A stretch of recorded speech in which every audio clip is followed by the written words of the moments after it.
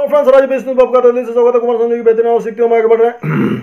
हो आएगी हर पल तुझे मेरी याद।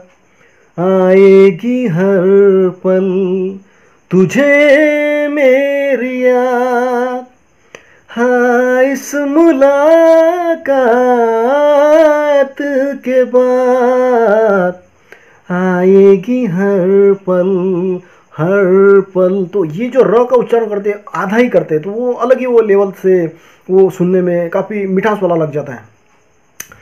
तुझे मेरी याद हाँ इस मुलाकात के बाद। तो इस तरह से वो नेजल टच का बेदी बारीकी से इस्तेमाल करते हैं जी। आए।